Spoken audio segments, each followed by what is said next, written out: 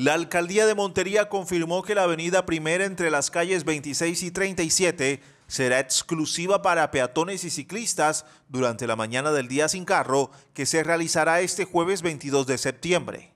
Este tramo de la avenida primera será peatonal solo hasta el mediodía para brindar un espacio en el que todos puedan disfrutar al aire libre de deportes, montar en patines, correr, usar la bicicleta o simplemente caminar. En esta jornada se han vinculado con actividades varias las secretarías, entre ellas la de Salud, Planeación y Hacienda, entre otras. De igual manera estarán disponibles dos estaciones del sistema de bicicletas públicas Bicinú, más de 1.500 taxis y 153 buses del servicio de transporte público colectivo. Esta jornada iniciará a partir de las 6 de la mañana y hasta las 6 de la tarde con una variada programación. Se estima que más de 150 mil vehículos entre carros particulares y motocicletas dejen de circular por la ciudad.